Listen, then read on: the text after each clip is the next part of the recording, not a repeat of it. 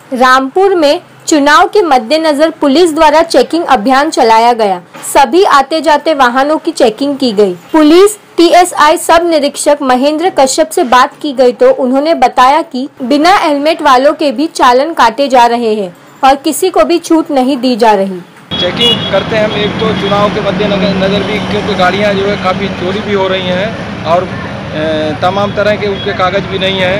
तो इस तरह से हम लोग उन गाड़ी को चेक करते हैं और जो गाड़ी के कागज़ नहीं उन्हें हम सीज भी करते हैं और जिनके पास कागज़ कम है तो उनका वैसे चालान करते हैं बी में करते हैं और समय शुल्क काटते हैं। फ़ोन जाते हैं तो हम कहते हैं भाई हमें पहले कागज़ दिखा दो अगर कागज़ सही है तभी छोड़ पाएँगे नहीं तो हमें किसी से कोई मतलब नहीं रहता हम चालान काट देते हैं।